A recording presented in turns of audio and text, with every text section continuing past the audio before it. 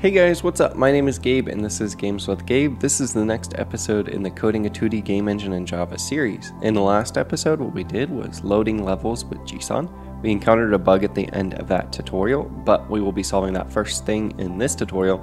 And we will also be doing something super cool, which I am really excited about because we will be exposing variables to the editor through the use of reflection. This is just like Unity does, and it saves us a ton of hassle and makes everything so much nicer. And it's just a really cool feature to have if you're making your own engine or level editor or anything. So we will take a look at how that works and then we will implement it and we will also fix that bug.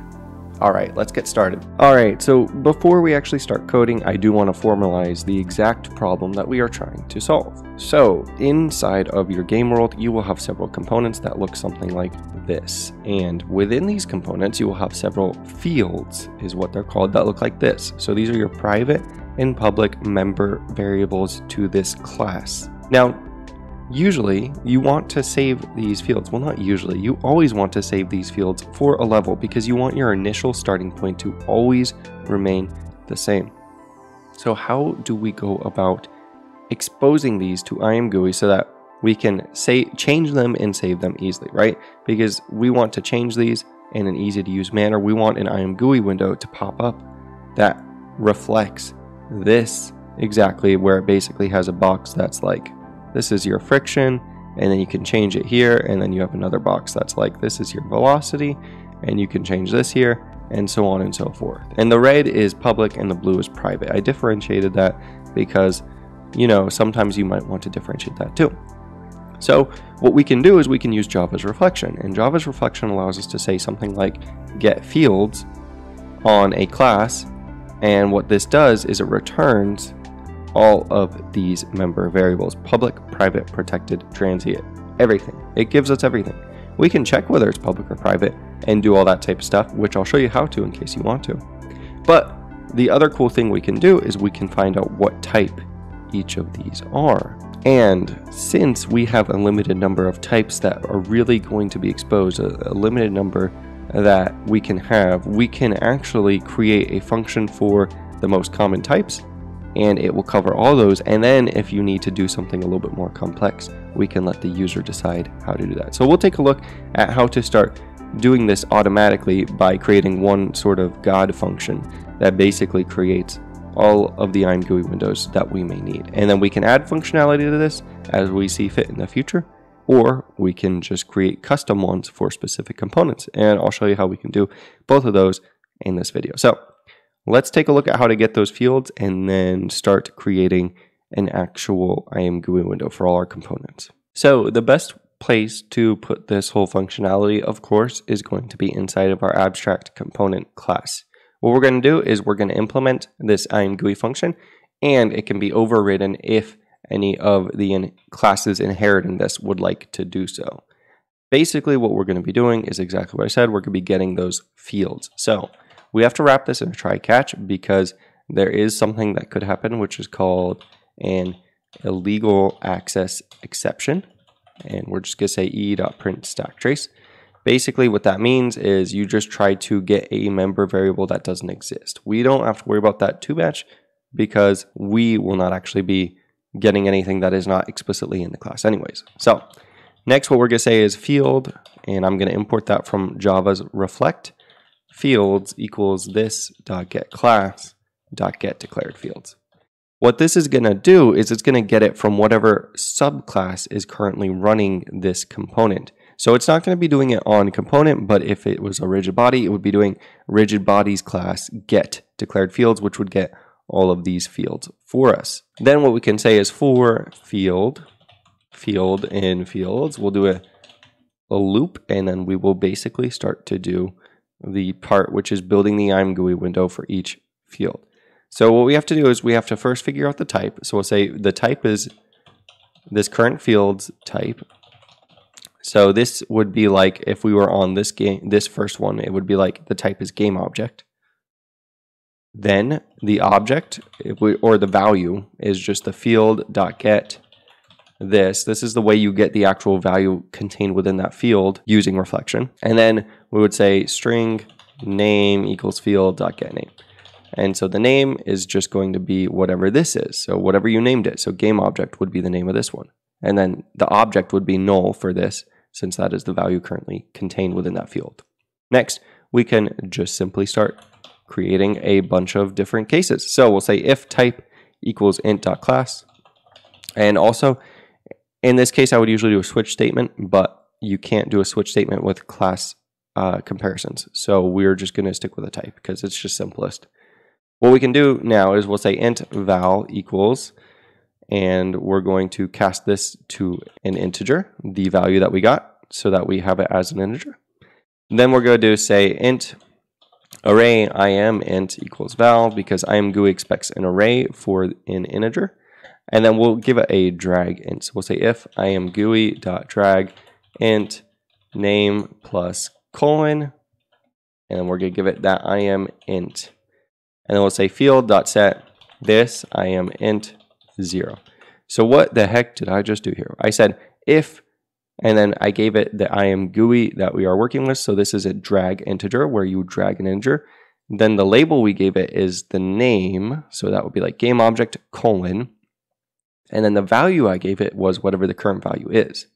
Then if this changes, we set the field to whatever that changed variable would be. So Let's see a concrete example of this. Let's create a new component that will sort of be our test component.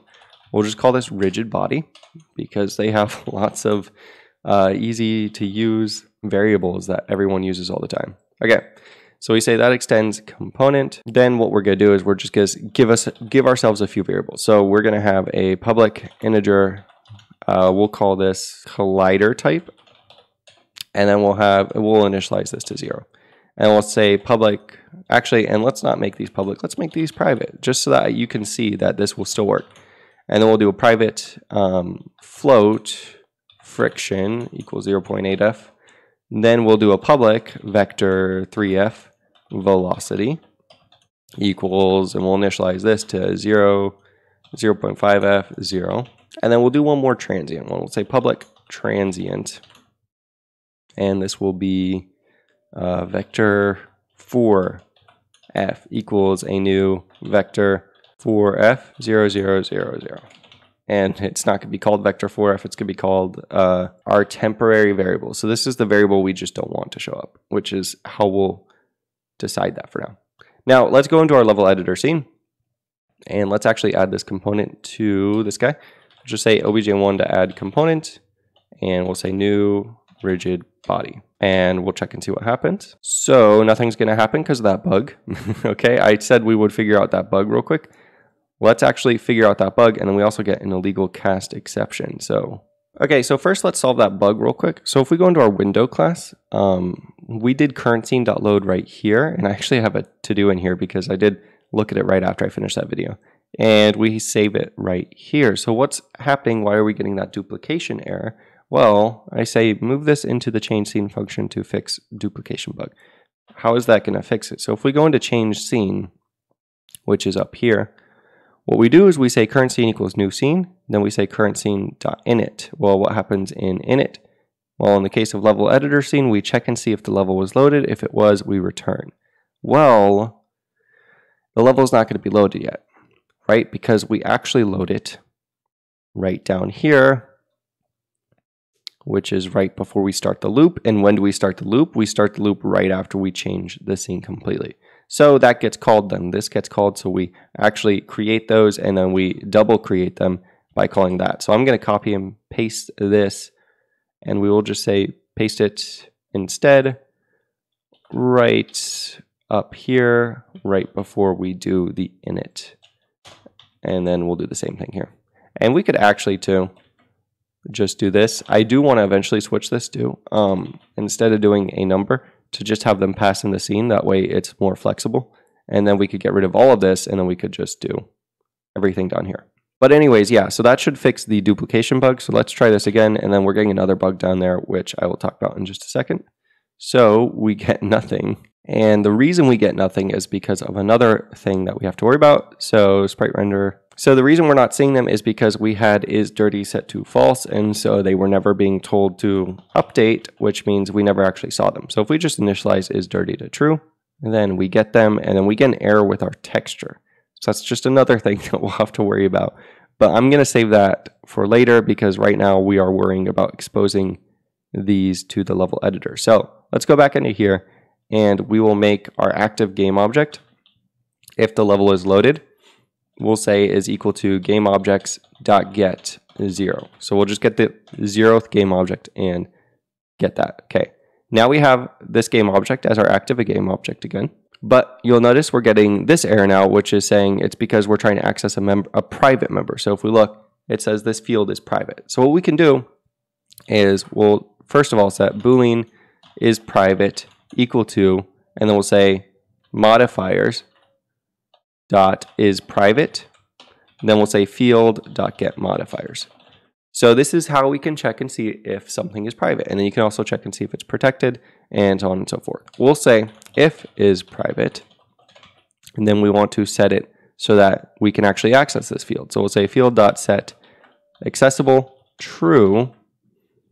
Then we will go ahead and do everything. And then after we finish, we'll say if is private field dot set accessible false. So basically what we're doing here is we're temporarily changing it to a public field. And then as soon as we finish with this, we're sending it to a non-public field. So if we do this again, you'll notice we can now access this. I'm going to change that to 10. And we get no errors. And then if we reload this, you'll notice it has saved the new value. So what we have done there, we just exposed that variable to our editor, right? So we have this thing called collider type and it was set to zero and we exposed it. So now we just have to go ahead and do the same thing for friction, velocity, and this temp variable, we should make it, because I'm going to use transient as a keyword. That means we cannot expose it. So let's go ahead and get those last things up too. And it's actually exactly as you would think. We'll just do something like else if type equals float dot class say int actually this is going to be a float now float val equals float value then we'll say float array i am float equals val, and we'll say if I am GUI dot drag float, and we're gave it the name plus a semicolon, and I am float. Then we'll say field dot set this I am float zero. So same thing. That's floats done. Now let's do else if type equals bool in dot class. I've been coding in C++. It's bool in C++. so we'll say boolean val equals boolean value. And then we'll say boolean array I am bool equals val. Then we'll say if I am GUI dot check box. So we'll just give it a checkbox. And actually, we don't even need to do the array thing too. We'll just say name plus colon, and then we'll pass it the value. So we can actually just take that part out. And then we'll say if it was checked or unchecked, then we'll just say val equals not val. So that one's actually pretty simple. We can just change it. Actually, we'll, we'll do set. So we'll say field dot set this, and then we'll give it value. Actually, no, we should do val equals not val. okay, because otherwise, if we don't, it's not actually changing this value, and so we actually need to change it ourselves. So we do this, and then we say field dot set this to val or more concisely, like that. Okay, sorry about that. Now, let's do a vector 3 real quick. We'll say else if type equals vector3f dot class.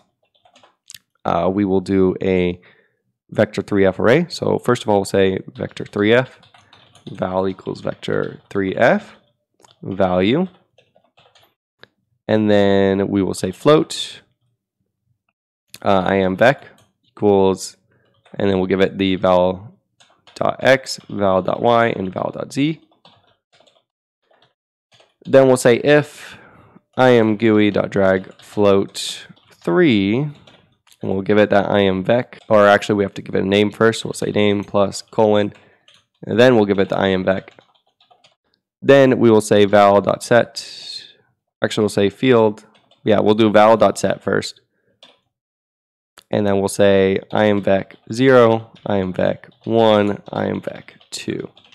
And this one should actually change the field too. So like because these work different, these are different than uh, primitive types. So if you change one of these, you're actually changing the actual object. Whereas if you change a primitive type, you have to say field.set because you're not actually changing the primitive. You're literally just copying that value. So difference between those, which is why we're doing this. Let's run this real quick. We should see the other one parts of our fields popping up. So if I make this bigger, you'll notice we have collider type, we have friction, we have velocity, and they all have the initial values that we had, which is really cool too. But if I change them, and then I exit, and then I go back in, it saved the values that I got, which is super cool. So we are now exposing these to our editor. Let's go ahead and also say uh, vector 4 because this way we can actually implement that transient keyword. So we'll say else if it's a vector 4 f dot class. I'm just going to copy this because it is very similar. Uh, change this to vector 4f instead. Change this to vector 4f. And then we will also give it val dot w. and then we will also set it to imvec3. And we will change this to a drag float 4. Okay, so that should be good for vector 4f. And then what we're going to notice is we actually get this temp variable in here. We don't want it to be in there because we marked it as transient. So what we can do is just like we did for our private, up at the top we'll say boolean is transient equals modifier dot is transient.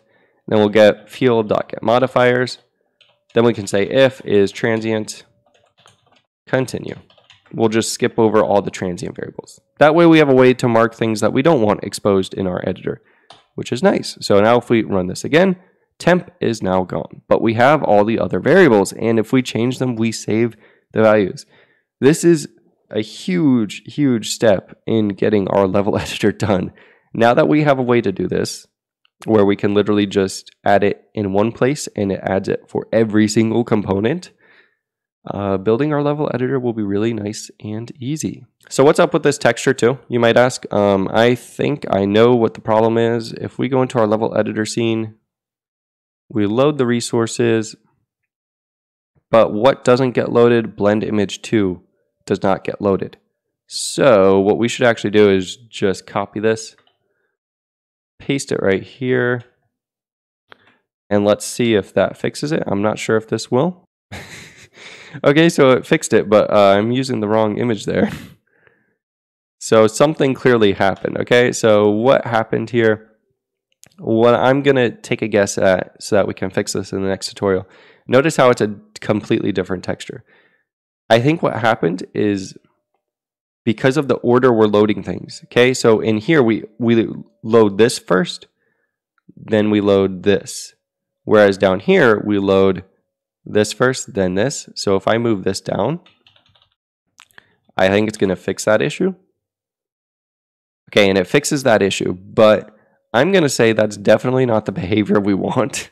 So we're going to have to relook at our asset pool and make sure that when somebody, or actually we can just relook at how we're building textures and then we can look for, see if we have the texture available and everything and figure stuff out that way when we're loading stuff in. Yeah, so we'll take a look at that because right now what it's doing is it's doing it based on the ID. So this would be zero, one. and then if we swap them, now all of a sudden this is 0, this is 1. And because of the way we save the data, we only save the ID. So then it all of a sudden it's taking this sprite sheet instead. So that is the problem and we will take a look at how to solve that in the next tutorial.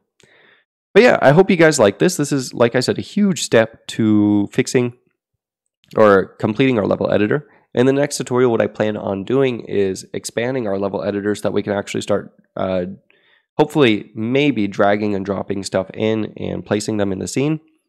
If not that, we will be definitely building like the things specific to level editor scene. So we will actually be building a window that is specific to our level editor that will allow us to begin doing the drag and drop stuff. I hope you guys liked this. If you did, please hit like and subscribe, and I will see you in the next tutorial. Thanks. See ya.